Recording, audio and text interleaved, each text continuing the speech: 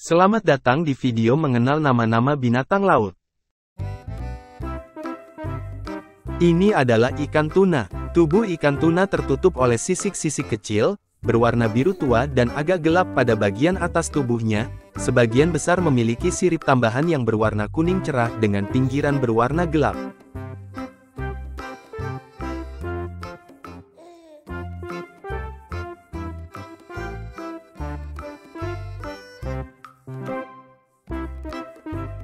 Ini adalah hiu putih. Hiu putih dikenal karena ukurannya, dengan individu terbesar yang panjang tubuhnya mendekati bahkan melampaui 6 meter, dan dengan berat sebesar 2.268 kg saat sudah dewasa.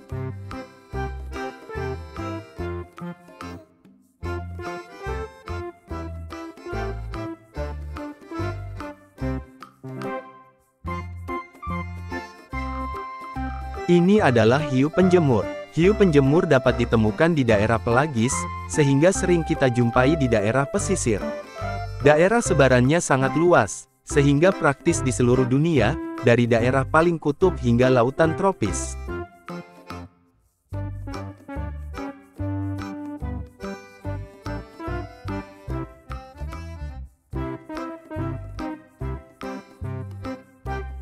Ini adalah hiu paus. Hiu paus merupakan ikan terbesar di dunia yang masih ada sampai saat ini. Panjangnya bisa mencapai 20 meter dan bobot 34 ton. Walaupun bertubuh besar, hiu paus tidak bernapas dengan paru-paru, melainkan dengan insang.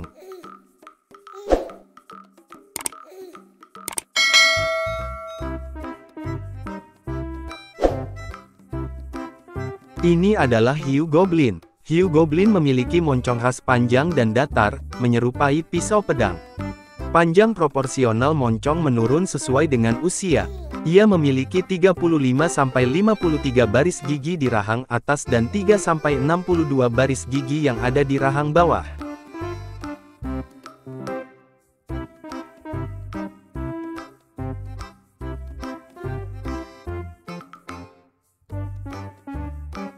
Ini adalah paus orca. Paus orca dapat berkembang hingga sepanjang 8-10 meter dengan berat mencapai 3.600-5.400 kg. Tinggi siripnya bisa mencapai 1,8 meter dengan panjang ekor dewasa berkisar 9,8 meter.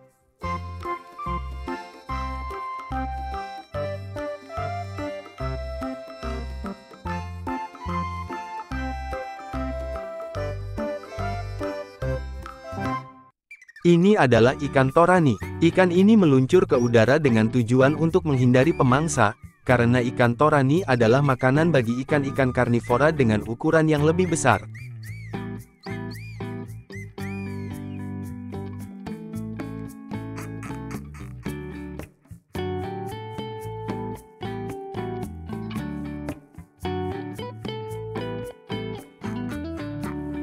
Ini adalah paus beluga. Paus beluga memiliki massa tubuh berkisar dari 700 kg hingga 1600 kg, panjang tubuhnya berkisar 2,6 meter hingga 4,5 meter.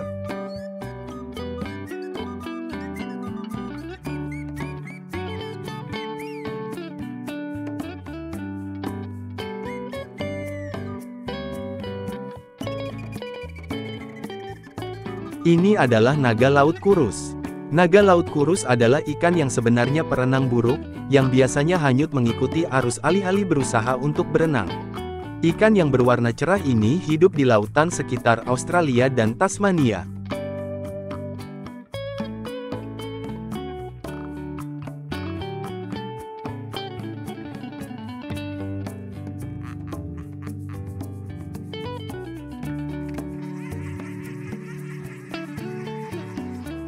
Ini adalah hiu macan tutul. Saat usianya menginjak satu bulan, garis-garis itu berubah menjadi corak titik, dan disebut fase leopard. Ikan ini memiliki ekor panjang yang ukurannya sama dengan tubuh mereka.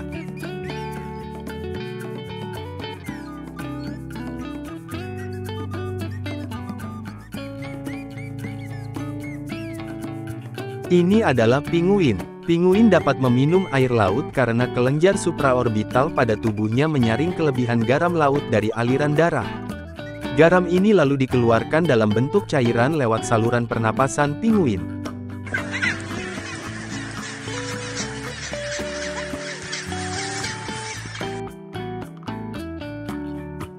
Ini adalah ikan kakap mulut besar.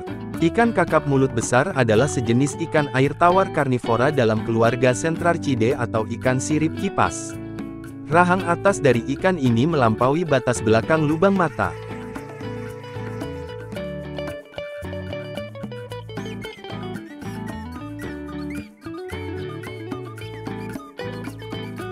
Ini adalah ikan pari.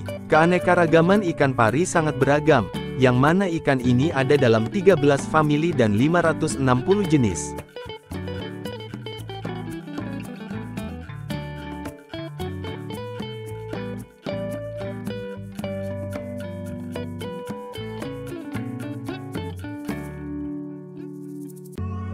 Ini adalah singa laut. Satwa ini mempunyai bentuk tubuh ramping dengan perut dan dada yang cukup besar. Mereka mempunyai moncong dengan kumis yang cukup panjang, dan penutup atau daun telinga pada bagian pinggir kepala.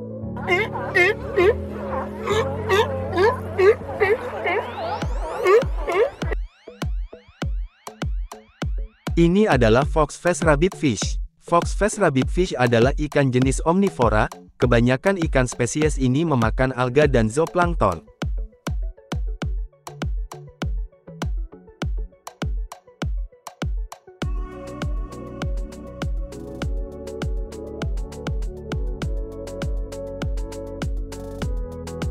Ini adalah ammonite. Cangkang ammonite yang tumbuh biasanya membentuk spiral datar yang dikenal sebagai planispiral, meskipun berbagai bentuk berkembang seiring waktu.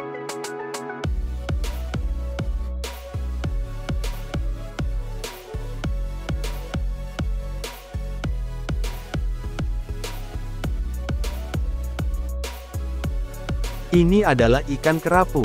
Habitat ikan kerapu meliputi berbagai jenis-jenis perairan, mulai dari muara sungai, laut dangkal, hingga laut dalam. Ikan kerapu banyak ditemukan di laut tropis.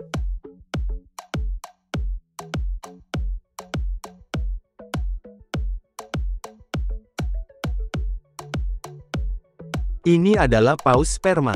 Paus sperma bisa mencapai panjang 19 meter untuk jenis paus sperma jantan, dan antara 13-15 meter untuk paus sperma betina.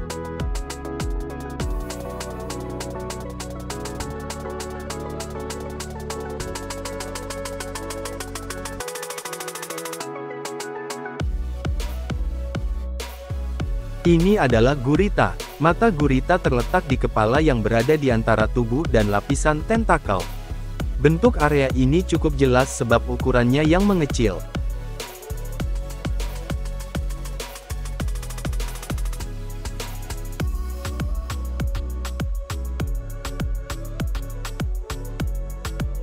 Ini adalah cumi-cumi. Cumi-cumi biasanya hidup sekitar 3-5 tahun, tetapi beberapa cumi-cumi besar telah diketahui hidup selama 15 tahun.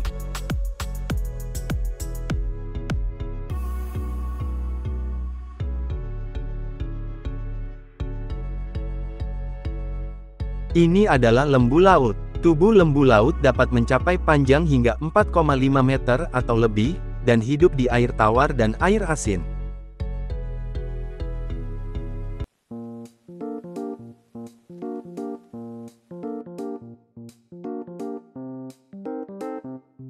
Adalah ikan pari elang.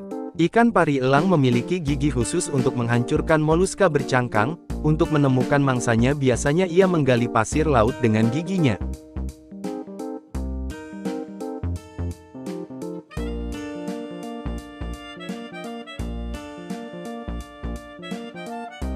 Ini adalah ikan moris. Ikan moris hidup secara berkelompok, berpasangan, atau terkadang juga terlihat sendirian. Dalam hal pakan, ikan moris lebih menyukai jenis makanan hidup.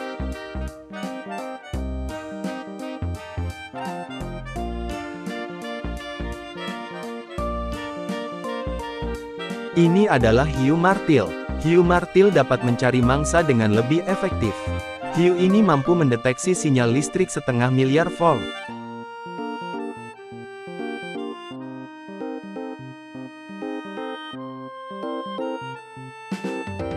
Ini adalah ikan blue tank. Ikan ini memakan plankton ketika masih berupa anakan. Setelah dewasa, ikan ini menjadi binatang omnivora yang memakan plankton dan ganggang.